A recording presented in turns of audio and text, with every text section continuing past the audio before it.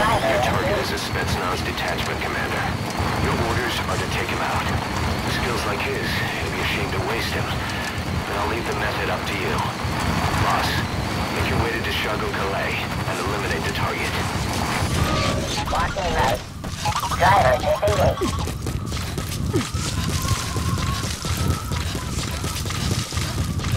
You've arrived at the objective. Your target should be somewhere in that outpost. And don't forget, guard up. All right, you're out of the hot zone.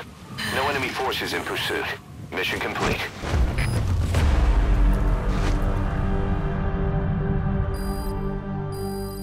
The map has been updated. Mission complete. Great work.